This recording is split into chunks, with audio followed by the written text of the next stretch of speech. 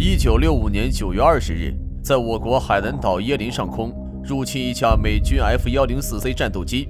海航空军飞行员大队长高翔收到指令后，立即驾驶国产歼六战斗机迎敌。在敌我力量悬殊的情况下，高翔驾机在距离敌机仅三十九米处绝杀了这架美军战斗机，创造了空中拼刺刀的奇迹，更是震惊了世界。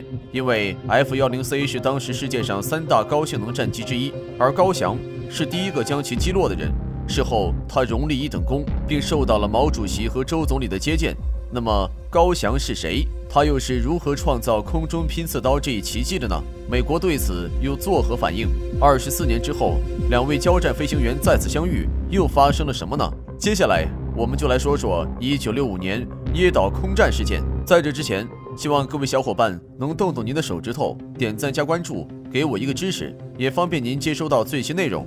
如果有机会，你到中国人民解放军纪念馆中去参观，一定记得去看看馆内陈列着的那架银白色歼六战斗机，去重温五十六年前那场紧张激烈的空战，去感受下驾驶着它的飞行员高翔和战友们不顾生命危险捍卫国家的决心。一九三二年十二月二十日，高翔出生于辽宁省盖县一户穷苦家庭。母亲含辛茹苦将他拉扯大，供他上了四年多的学。一九四七年，年仅十五岁的高翔加入了东北人民自卫军。在入伍体检时，发现他有一定学历，就把他分配到了辽南军政干校卫生队当卫生员。后来部队被改编，他成为了四野整训武师的一员。一九四九年，高翔随解放军南下入关，他被抽调出部队，到了广州。之后，他被留在广东省政府工作了两年。但是他觉得自己应该上战场，而不是在大后方过着高枕无忧的日子。于是他向组织申请回部队，但是始终没有得到回复。直到1951年，行政处副处长告诉了他一个好消息：他获得了当飞行员的机会。高翔兴奋不已。在体检当天，他更是成为了百里挑一的合格人选。事实证明，高翔是一个天生的飞行员。1951年9月。高翔进入航校学习航空知识，几个月之后，他就进入了河北保定学习驾驶初级教练机。不到半年时间，他又开始试飞中级教练机，后又开喷气式战斗机。飞了一年十个月后，他成功毕业，正式成为航海空军飞行员。在部队中，每次出任务，他都能出色的完成，职务更是节节攀升，先后被任命为大队长、副团长、师副参谋长，荣获海军航空兵第十团老鹰模。而高翔最为出彩的，还要数1965年的椰岛空战事件。而这起事件还要从1964年说起。北部湾事件之后，美国对越南扩大了侵略，越南战争持续爆发，战火一度烧到了我国南部边境。美军时常会派战机入侵我国海南地区领空，实施挑衅或是侦察活动，挑战领土安全是不能忍的。我军决定反击，我军航空兵部队担任起了战斗值班任务。飞机时刻做战斗准备。值得一提的是，一九六四年底，高翔就曾被派往海南岛打击美国无人机，但美军却依旧肆无忌惮。是时候给他们点颜色看看了。一九六五年九月二十日上午十点左右，我军雷达部队检测到美军两架 F 幺零四 C 战斗机有趋势入侵我国海南地区领空。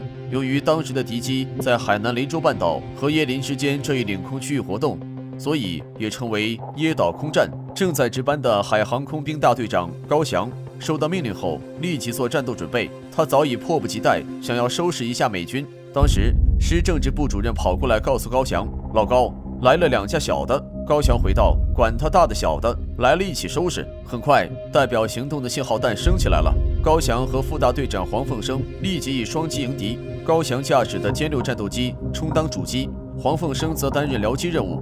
在地面指挥所的指示下。两人迅速飞往待战区域，可就在这时，高翔飞机出现了一些故障，他驾驶的飞机温度表指令红灯亮起，不过飞行状态依旧良好，并没有太大问题。可当他继续向待战区域飞行时，又突然与指挥所失去了联系。高翔并没有慌张，经过冷静分析，他判断飞机是正常的，于是他继续飞行。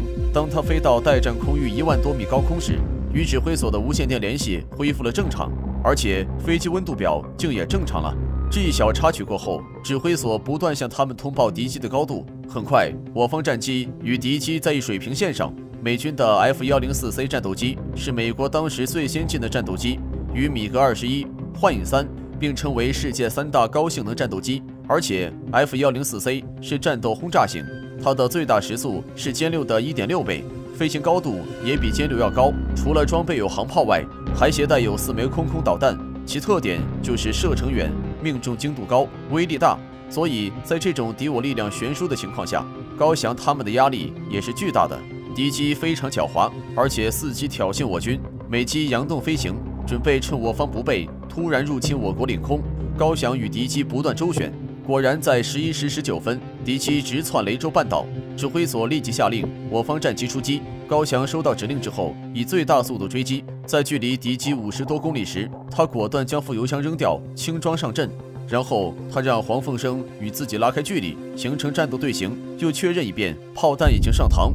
三十一分三十五秒时，高翔在左前方八公里处发现了敌机，但他并没有发现指挥所说的另一架敌机。犹豫了一会儿。他果断决定先干掉眼前这架再说。如果另一架袭击自己，我方僚机也不是好惹的。这时敌机开始右转弯，高翔也跟转弯，但机智的高翔迅速切了一个精准的半径追了上去，占据了有利的攻击位置。此时我方战机距离敌机一千米，是在有效射程范围内，敌机已经被牢牢套入射击范围。这时开炮，敌机一定中招。然而高翔并没有立即开炮，他做出了一个大胆的决定，他决定。打近战，意思就是高翔要的不仅仅是击伤敌机，而是要彻底击落敌机，即使打不下来，也要把它撞下来。多年之后，高翔这样回忆说：“于是他紧紧咬住敌机，准备和对方在空中拼刺刀。在距离敌机二百九十一米时，高翔开始连续开炮，成功击中敌机。但是全速的追击让高翔在靠近敌机的瞬间有些发懵。就在我机快要撞上敌机尾部时，高翔又以迅雷不及掩耳之势按下三门火炮按钮，瞬间三门炮弹齐发。然后他使出全身力气拉起升杆，飞机在距离敌机仅三十九米时成功升起。与此同时，敌机也在瞬间爆炸。高翔激动地从舷窗看过去，只见敌机拖着一股黑烟掉了下去，打爆了。高翔异常激动地这样说。他兴奋地想蹦想跳，但此时他还在飞机舱内坐着，根本无法动弹。即使多年之后再回忆到这一幕的时候，这位老人依旧兴奋地手舞足蹈，像个孩子一样。这是振奋人心的一刻。这次空中交锋极大地振奋了我军的士气，狠狠地打击了美国的嚣张气焰。不过，敌机爆炸的瞬间也波及到了高翔驾驶的歼六飞机，爆炸碎片将歼六穿了几十个孔，右边的发动机直接报废了，另一台发动机也受损了。于是高翔将报废的发动机关闭，然后靠着受损的单个发动机成功返航。我机从起飞到击落敌机前后用时不到一个小时。高翔不仅创造了击落先进美机的奇迹，还创造了歼六靠单个发动机成功降落的先例。当天，敌机上的上尉飞行员菲利普·史密斯在飞机爆炸前的一瞬间跳伞。得以逃脱，降落到地面之后就被我方民兵活捉。他也成为了第一个在中国领空被击落活捉的美国飞行员。